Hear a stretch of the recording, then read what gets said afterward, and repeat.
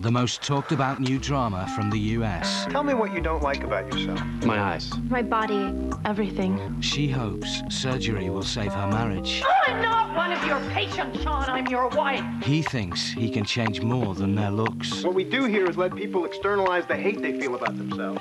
And he wants the ideal woman, so he's going to make his own. When you stop striving for perfection, you might as well be dead. Nip Tuck, Nobody is Perfect. January on Sky One.